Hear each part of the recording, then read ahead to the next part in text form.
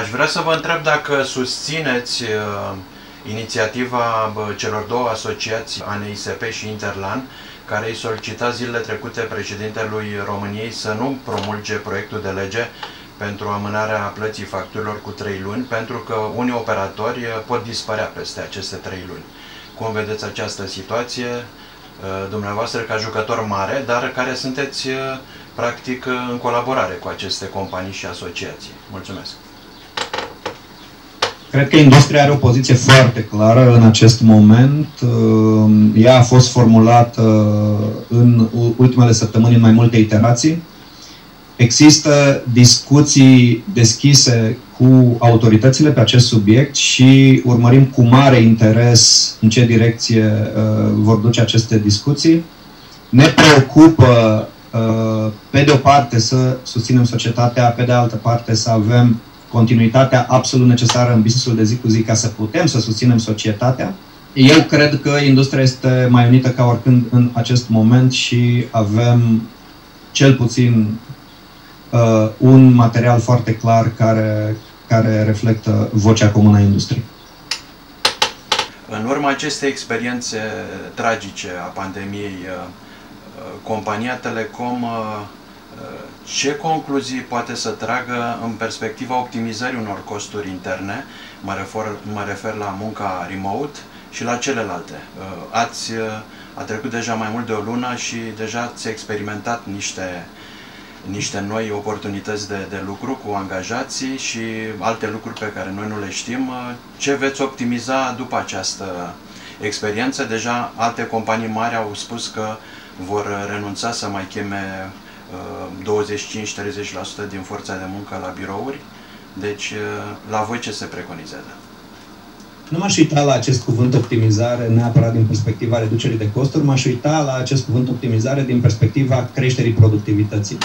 Cred că uh, modul în care toată lumea va opera business-ul va fi unul diferit, toată lumea va trece printr-o transformare radicală din acest punct de vedere.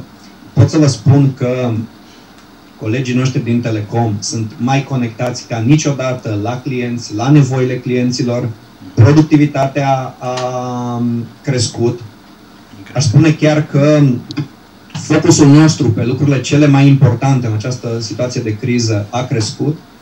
Și, din nou, ne uităm la ce putem să învățăm astfel încât să fim mai productivi, ce putem să învățăm astfel încât să uh, servim mai bine clienții, cu siguranță nu vom lucra la fel cum am lucrat uh, până înainte de criză.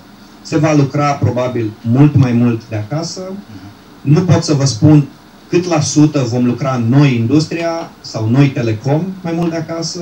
Cu siguranță chestiunea asta va fi diferită de la industrie la industrie, dar se va lucra diferit. Și cred că acest lucru va avea impact în productivitate, va avea impact în modul în care ne focusăm pe lucrurile importante și cred că, all in all, va genera valoare adăugată uh, pentru tot ecosistemul. În general, cred că dacă ne uităm doar la ce costuri tăiem și nu ne uităm la cum încercăm să generăm valoare, nu este neapărat o cea mai productivă abordare. Noi cu siguranță ne vom uita la cum putem să generăm prin noul mod de lucru mai multă valoare pentru uh, clienții noștri, pentru partenerii noștri, pentru acționarii noștri. Este uh, de apreciat uh, importanța pe care ați acordat-o platformei educaționale și faptul că ați uh, căutat ca să asigurați continuitatea acestei direcții, educația, însă cred eu că în aceste zile mai importantă decât educația este sănătatea. Știu că aveți niște instrumente și v-am mai întrebat și data trecută ce dezvoltați în această zonă? Pentru că vedem foarte multe inițiative ale multor companii, mari antreprenori, ONG-uri pe zona de edu- pe zona de sănătate. Da. Scuze. Cum vă exploatați voi uh, platforma de sănătate, butonul roșu, resursele pe care le aveți în grupul Telecom, că aveți resurse și la nivel internațional?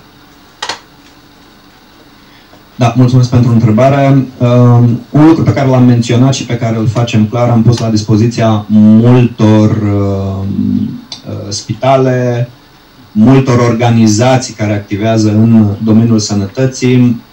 Am pus la dispoziția lor mijloace de comunicare gratuite în această perioadă, astfel încât să poată să stea cât mai ușor în contact cu pacienții. În același timp, uh, în toată această perioadă am pregătit câteva inițiative semnificative uh, atunci când vine vorba de telemedicină. O să le uh, prezentăm probabil în câteva zile. Unele dintre ele sunt în colaborare cu instituții ale statului, unele dintre ele sunt um, pur și simplu inițiative pe care le vom porni către uh, mediul de business. Și da, așa cum uh, ați menționat, folosim pe de o parte resurse pe care le avem în grup, pe de altă parte ecosistemul extraordinar de parteneri pe care l-am construit în România în ultimii ani, uh, în toată operațiunea de system integration pe care o operăm.